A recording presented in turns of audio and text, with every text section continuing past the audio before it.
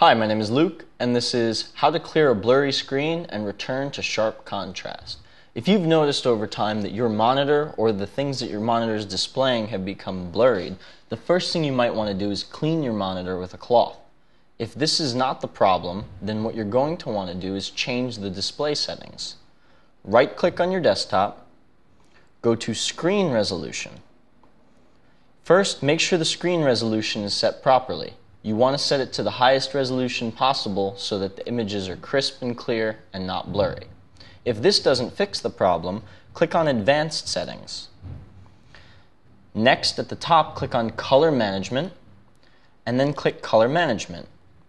Here, under the uh, tab saying Advanced, click Calibrate Display.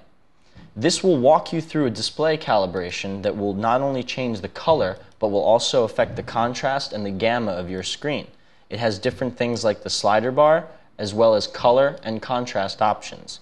Once you've gone through this, it will change your screen settings so that everything is crisp and sharp and no longer blurry. And that's it.